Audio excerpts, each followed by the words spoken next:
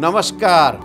Doctor nurse र अन्य स्वास्थ्य कर्मीहरू आफ्नो ज्यान जोखिममा राखेर हाम्रो ज्यान बचाउन लागि परेका छन्।